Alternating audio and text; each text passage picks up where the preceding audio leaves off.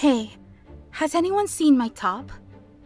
Yeah, D-Luke's at Dawn Winery.